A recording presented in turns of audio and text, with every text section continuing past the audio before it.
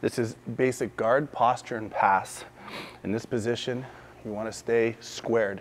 You don't want your foot going behind where you can get swept or put on your back. You want to just stay in this position here, nice and square, good base. Hand position. Grab the lapel, two and one, both lapels into the hand and turn it flat. So I have good posture, I'm looking up. If you're looking down like this, you don't have good posture. Just be like this, look up. This position here, you can grab the, the arm, you can grab the pants, or the belt. I like to grab at the pants myself.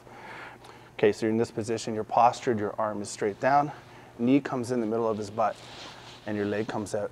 You're not putting your leg up to the side like this, because he can go underneath and start to sweep you. What you're gonna do is have your leg out like this. I'm not turning my back so he can go to my back.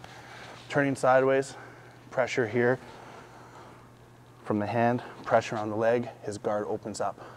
I'm in this position, I let go, I come to his knees. And I'm gonna swim both hands at the same time underneath. This is called a stack pass. Come underneath, I come to this position here. Hands clamped. This can be done with gi or no gi. As I do, I start to drive my weight in, into him, into this position.